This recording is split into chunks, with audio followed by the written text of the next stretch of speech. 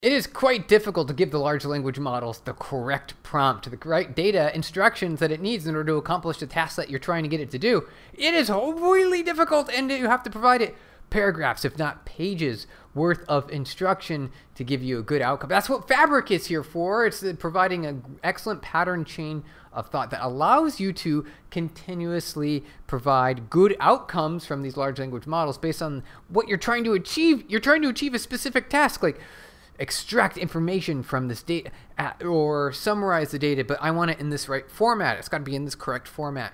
The, these models, they'll do what you ask them to as long as you ask them very specifically. And that's actually what the whole point of Fabric, the idea behind Fabric in general, is an open source framework for augmenting humans using AI. Specifically, we're talking about just these large language models that, oh, like OpenAI, ChatGPT, Ollama's uh, ability to, uh, you can run Ollama on this, for example, right? So any of the LLMs can run locally on your system. You can also use a cloud-based uh, option. And so that's the whole point behind Fabric is to give you this uh, mm, the massive number of AI applications and tasks is powerful, but it's not easy to integrate this functionality into our lives because you have to really sit down and just try to provide clear and clean instructions. And it's still not good enough. So the good news is uh, Fabric comes with a whole bunch of pre-built patterns for achieving specific tasks, leveraging these large language models that can run on your local system directly. You can also, of course, use the cloud-based systems. They're, they have a philosophy, it's kind of a boring philosophy, magnifier of a thing, right? They talk about AI isn't just a thing, it's a magnifier of a thing. So uh, they believe the purpose of this technology is to help humans flourish, which means that, you know, when they're talking about AI, we start as humans, we're the problem. We have problems. We need to be solving problems. Ah, okay. So here's how they do it. They break problems into components. Their approach is to break problems into individual pieces and then apply them to AI one at a time. And this will allow you to get the best possible. Yeah, it totally makes sense. That's how you're supposed to interact with these large language models today. That's how they work best. They're called multi-shot uh, or, or you know chain of thoughts. You you want to achieve a specific goal. Well, you can't just do ask it once and then you get exactly what you want. You need to create a giant thing of instructions and then you also have to break those instructions into multiple pieces and then you get the final output. And that's the whole idea behind Fabric and get it installed onto your system. It's free, it's an open source tool. All right, let's install Fabric onto our computer. First, we need to make sure that we have Golang installed. Go is a programming language, just like if you're familiar with JavaScript and Java, Ruby, PHP, Python, those are computer programmer languages that need to have a runtime associated with it or com a compiler that can target binary for specific platforms. That's what Go is. So you need to make sure to follow these instructions, download Go. Fabric is written in Go. It seems like so. We need to make sure that we have Go installed. They provide a nice link here for you to click into. It looks like this. It's got a uh, like uh, just click download and then it will follow you know the instructions for your operating system. Windows apple arm or uh, x86 linux and there you go. All right so once we have i just i just upgraded and installed myself here. So i had go uh, older version and i got a new version go going ready to go. So now we need to go install the latest fabric. Let's get that. Let's let's do that. So we just now we're in copy paste mode. So we're just going to copy paste some of these things here. So get this going here. It's going to download and probably do some uh, extra steps for us here in a second. So I'm, we'll see how it goes. I paused the video for a little while. It's still downloading. There's a lot of Go uh, dependencies, it seems. And so we're uh, we're still waiting for it to go. Just yeah, if you do this step and you realize that hey, it's taking a little while, that's okay. That's what it's uh, it's intent it's going to take a little while. Okay, finally finished. Now we'll go back to the other instructions here. Let's see, what do we got? What do we got? Uh, instructions. Right now we run fabric setup, and then we'll throw this into our terminal, and we'll see what this looks like. All right, running fabric set. Oh, okay, maybe I might have to reopen a new terminal window. One second here. All right, let's try that. Still nothing. Okay. Oh, there were there were some uh, extra instructions on here. Aha, we do, we might need to take care of some environmental things here. Give me a, one second. Okay, simply following the instructions here, just make sure you run these extra, you can run these commands directly in the terminal, or you can throw those into your RC files if that works for you. Just make sure to run these first Uh, if this if this step didn't work for you, Fabric Setup, make sure you do that. Also, I just ran Fabric Setup here, and I'm noticing that it wants an Ollama URL, so you'll also need Ollama installed, it seems, although, they say so make sure to go to ollama.com and then download this one as well. So many things you have to download, it's crazy. All right, make sure to download this, uh, click download, and then install based on whichever operating system you have currently running. So we'll leave the default here. Ah, okay, so now it's gonna let us append some external cloud-based API keys into our system. So uh, if you have API keys for those systems, you can add them here. All right, my setup is complete. I entered all the right data. You can have Ollama running, so you can run models locally on your own system. You could also have them running on a, a GPU server in the closet and just make sure to specify the correct domain or IP address of that server that's running in your closet. Then you have the ability uh, to run Fabric directly here. So we've got everything set up. Now we want to choose a pattern and then we want to choose a model. And those are, I think, the required steps. So we definitely need a pattern uh, and then we need a model.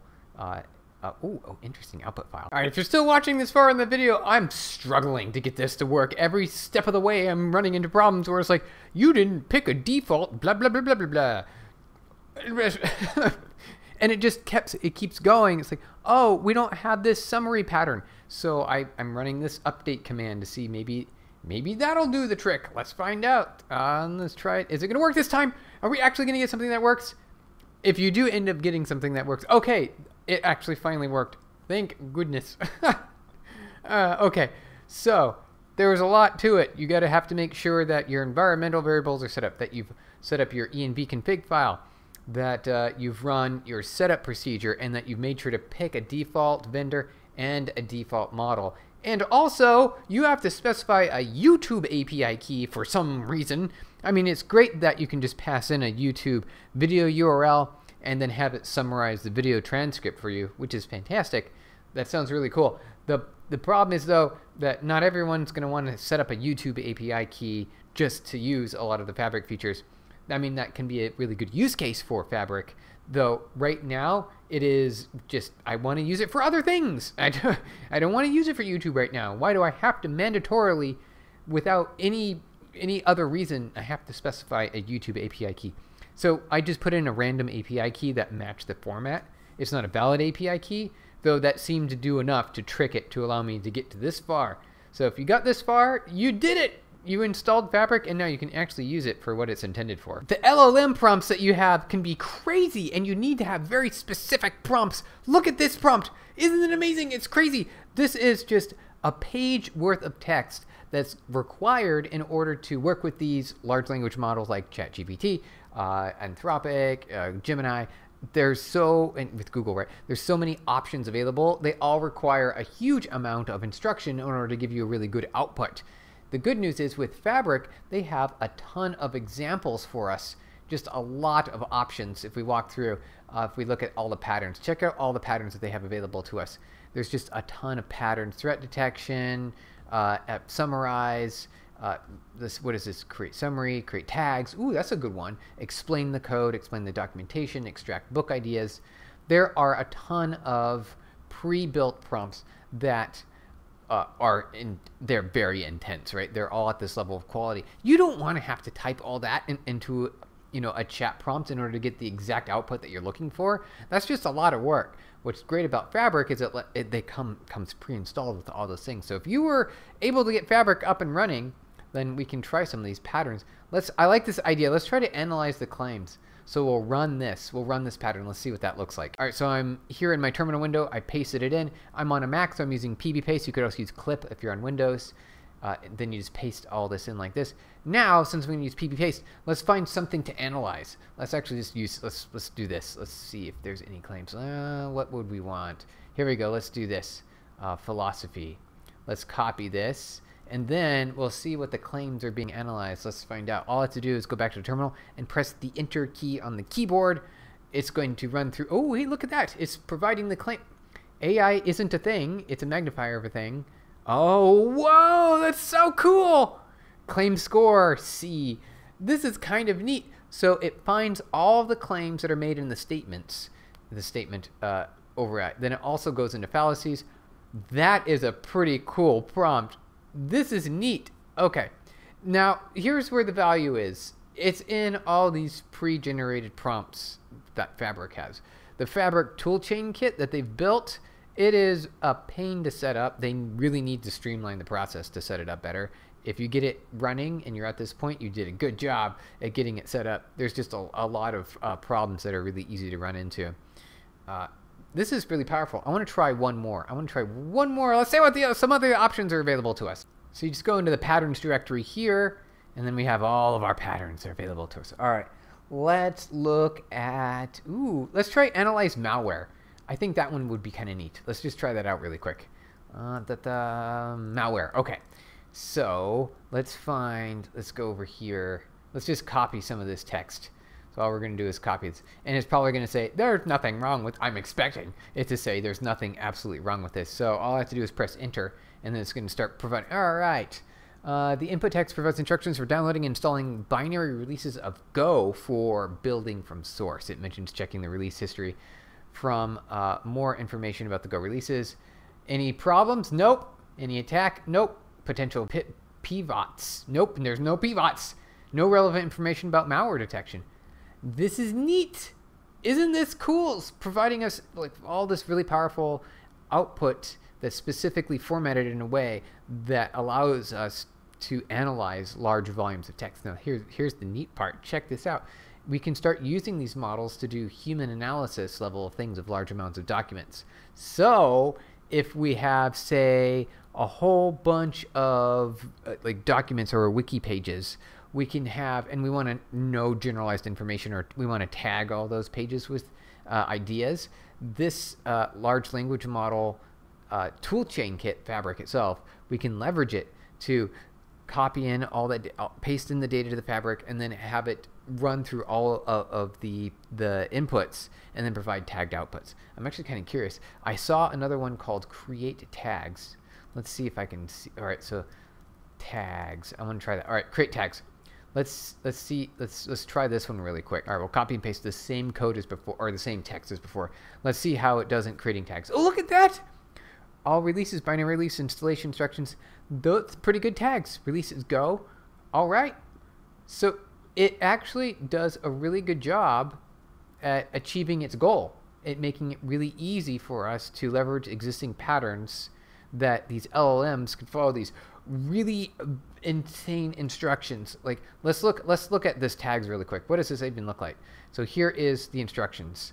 I didn't, this is the entire thing. This is all the data is provided. Is actually not a lot. I'm actually kind of surprised that there's not a whole lot of instruction. I mean, it's a lot more than I would normally want to type as a human to provide instructions for a model to do a thing that I want it to do. Though it is kind of interesting that uh, it's already pre-built for us. I really like that. Is there any other interesting one? What's aphorisms? Uh, are, I guess we're going to find out. Let's try create aphorisms. Okay, then I need to go back here. Let's copy and paste this again. Copy paste, and we'll do this one last one and see what it comes up with. Oh, the secret of getting headed. It's getting started. Okay. Okay. Yeah. All right. So it's a whole bunch of quotes, essentially. Do not wait until uh, to strike till the iron is hot, but make it hot by striking. Interesting. William Butler Yeats. Uh, or Yeats? I, I'm going to say it's, I like it. It's probably Yates, something like that.